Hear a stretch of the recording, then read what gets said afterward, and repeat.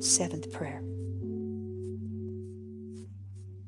O most zealous high priest, true God and true man, eternal praise and thanksgiving be to thee, because thou didst suffer thy sacred side to be pierced, opened, and wounded with a spear. By this most holy shedding of thy blood, I earnestly pray thee for the grace of holy zeal and fervor against all sloth and weariness in thy service and in every religious exercise. Our Father who art in heaven, hallowed be thy name. Thy kingdom come, thy will be done on earth as it is in heaven.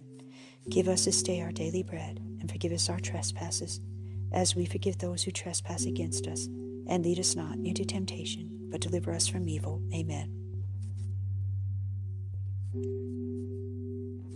O Savior of the world, who by thy cross and precious blood hast redeemed us, save us and help us, we humbly beseech thee, O Lord. In the name of the Father, and of the Son, and of the Holy Spirit.